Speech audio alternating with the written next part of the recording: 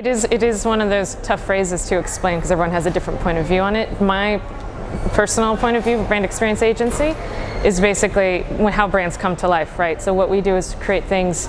Um, if you think about above the line as like the promise of like your brand, you stand for this. Um, what we do is the proof. So basically, we bring that stuff to life. We bring those promises to life. We're how a brand, you know, acts, smells, listens, talks, treats employees from um, across every single touch point. And again, it's really through that power of experience.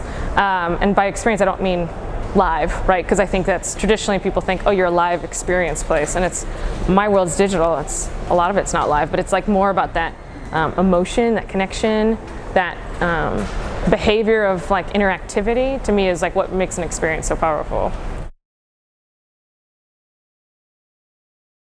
Really wonderful technology takes someone from a novice to an expert instantly, right? So if I know the first time I download Instagram, I know how to use it, like that is good technology, right? Like if I have to figure out something or it's complicated or it's convoluted and actually is making things tougher for me, like that to me is just terrible technology.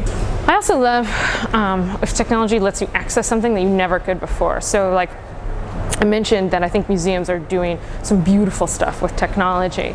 And basically, you know, most museums, something can only show like 10% of their collection. So it's literally 90% of amazing art is just unaccess un inaccessible to us.